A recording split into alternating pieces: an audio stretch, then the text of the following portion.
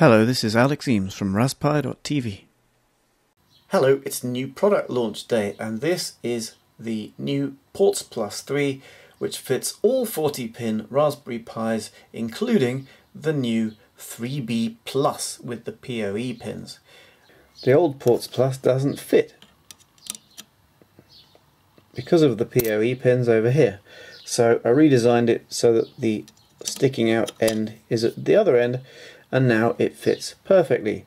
You've got GPIO on one side and alternative on the other side. There's been several iterations of this board over the years. In fact, the white one in the panning shot that you're watching was one of the first PCBs I ever made back in the summer of 2013. But it's a popular board and I thought, why not make it even more accessible? So I decided for a launch offer, you can get one of these for free, you just pay the postage.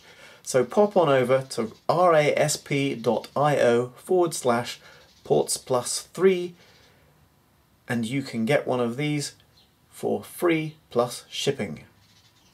Why would I want one? Well, they're really useful if you want to connect things up to the GPIO pins on the Pi. It shows you clearly which pin is which and helps you to avoid making a mistake on your wiring so your project wouldn't work or worse still you could damage the Pi itself if you wired things up really badly.